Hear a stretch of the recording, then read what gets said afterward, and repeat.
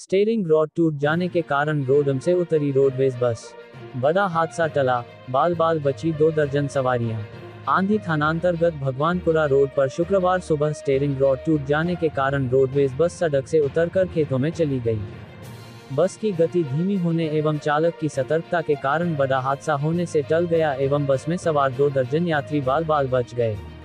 जानकारी के अनुसार शाहपुरा डिपो की रोडवेज़ बस शुक्रवार सुबह महँगी से जयपुर के लिए रवाना हुई थी। भगवानपुरा के पास आते आते अचानक स्टेयरिंग रॉड टूट गई। स्टेयरिंग रॉड टूट जाने पर चालक एक बार भी तो घबरा गया, लेकिन सिंगल रोड होने, बस की धीमी होने के कारण चालक की सूझबूझ से बस को रोड से खेतों में उतार लिया, जिसके कारण बड़ा हादसा होने से टल गया और बस में सवार दो दर्जन यात्री बाल बाल बाल बच गए।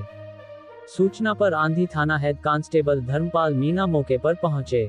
धर्मपाल ने बताया कि बस में सवार सब